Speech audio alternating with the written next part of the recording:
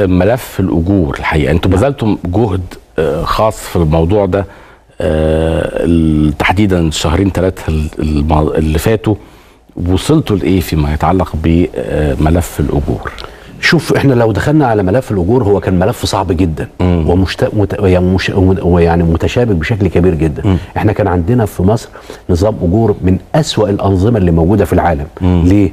كل حاجة فيها كانت آه ما في ما فيش شكل عام لمسألة الاجور تقدر تمسكه مم. كانت المسألة مرتبطة بإيه المجموعة دول قوية وهيعملوا لنا مشاكل اعملوا لهم نظام خاص مم. المجموعة دي مش عارف إيه اعملوا لها إيه آه. يعني الجهاز إيه. الإداري للدولة كان فيه أكتر من أو يعني آه، أكتر من نظام أجور آه، موجود مم. في الهيئات الخاصة في الم- آه، آه، الموازنات الخاصة في مش عارف اللي بياخدوا منح اللي بياخدوا إيه اللي بياخدوا فكان لابد من إيجاد صيغة لتقريب الايه ال- ال- يعني نظام الأجور بين بين العاملين في الجهاز الإداري للدوله وكذلك ينطبق على قطاع الأعمال والقطاعات الأخرى.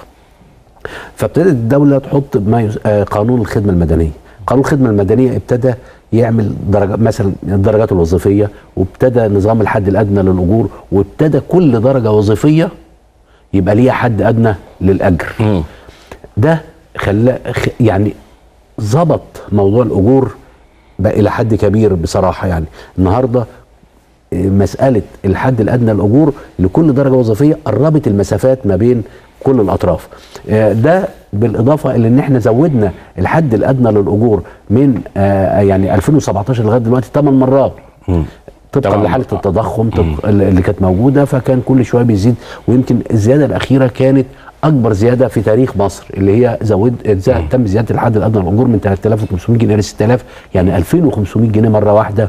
دي كانت بالنسبة لنا يعني دي لقينا طفرة- الأخيرة. آه دي طفرة كبيرة جدا في مسألة إحنا بدأنا من. كام؟ لو وصلنا لكام تقريبا؟ يعني إحنا بدأنا آه، كان 1200 جنيه. كانت الأول قبل آه، 2011 آه. كانت حوالي 725 آه، جنيه. بعدين وصلنا بعد 1200 كده أنا 1200 جنيه ومن 1200 جنيه كانت الانطلاقة يعني آه، زادت بقى إيه 8 مرات لغاية ما وصلت لغاية آه، آه، 6000 جنيه دلوقتي. مم. فالمسألة إحنا دلوقتي عندنا كام عامل في مصر؟ معلش. إحنا عندنا بين قوسين بس. آه آه. كل الإجمالي العمالة آه. حوالي 30 مليون عامل. 30 مليون منهم في الحكومي آه، والخاص. يعني 5 مليون أو 5 مليون شوية في الجهاز الإداري للدولة آه، آه، واقل منهم شوية في الهيئات والمؤسسات الاقتصادية وقطاع الأعمال العام يعني 700 800 ألف آه، الباقي كله قطاع خاص. مم. القطاع الخاص ده منقسم برضه أقسام في عمالة غير منتظمة وفي قطاع خاص اللي هو شغال في شركة وليه- وله رب عمل. وكده يعني فبس لكن حجم العمالة تقريبا تقريبا حوالي 30 مليون عامل. ودول بيستفيدوا كلهم من الزيادات الزيادات ما كل يعني كل زي ما بيقولوا كل شيخ وليه طريقة مم. الجهاز الإداري للدوله الرئيس هو من يقرر للعاملين في الجهاز الإداري للدولة مم. العاملين في قطاع الأعمال العام والقطاع العام الوزراء المختصين. بقيت بقى ما في القطاع الخاص المجلس القومي للأجور. مم. كل كل فئة من دول بيحدد لها آه مسؤول طبقا اللي بيحدده القانون يعني طبقا لما يحدده القانون. مم. كان عندكم تحدي مع المجلس القومي للأجور؟ هو بذلتوا مجهود. عشان القطاع الخاص. إحنا وصلتوا إيه للجزئية دي؟ إحنا القطاع الخاص تم إقرار حد أدنى للأجور من حوالي ما آه يعني حوالي شهر تقريبا ان هو يبقى 6000 جنيه. مم. إحنا عندنا القطاع الخاص ده متقسم أربع أجزاء مم.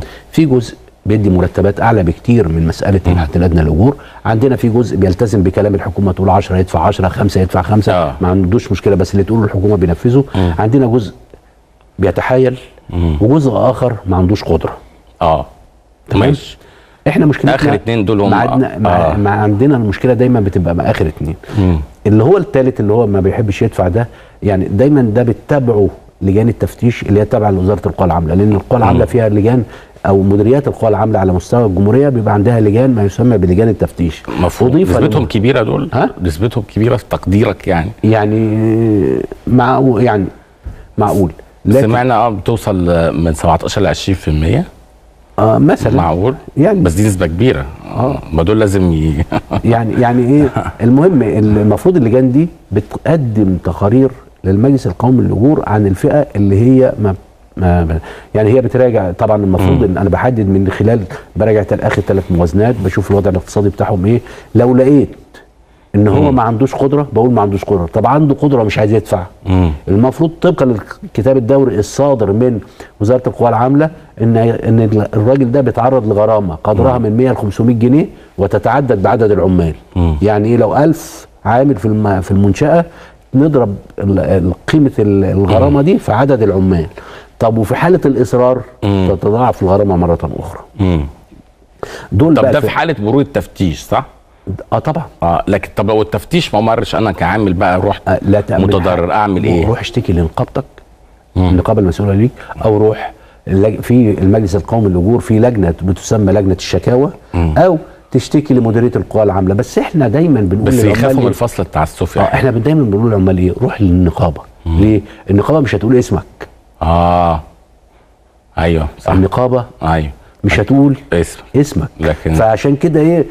يعني لأن إحنا برضو بنخشى من بعض الناس يعني طبعا.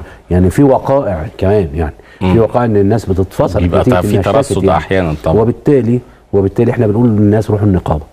طيب الوضع الثالث بقى اللي الناس مش قادرة يعني مش قادرة تدفع. بس ده لازم يكون مشترك في النقابة ولا ولا مش بصرف النظر. بصرف النظر. آه. يعني لو مش مشترك ورحت النقابة أشتكي آه يعني. لا لا لا ما فيش مشكلة. إحنا كمان عندنا يعني مثلا إيه بتبقى عندك في مفاوضة جمعية العامل مش مشترك عندك بس شغال في نفس التصنيف. لا بنبعت المحامي بتاعنا يدافع عنه.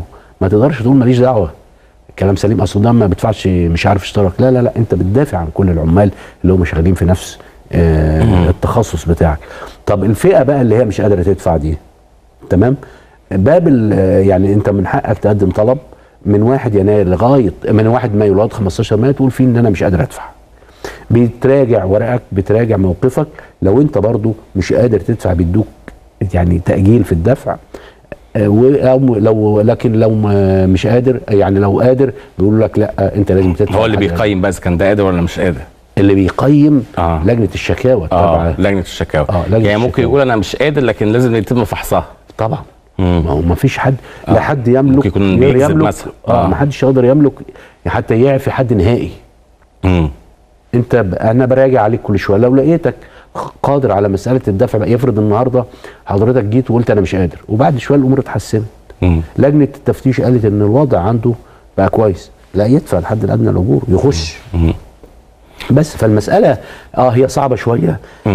لكن دلوقتي الاتفاق النهائي إنه خلاص من 1 مايو كل كل مصر الحد الأدنى الأجور ليها 6000 آه جنيه. خلاص سيتلد يعني خلاص سوية. كل الأطراف. كل الأطراف. كل أطراف العمل.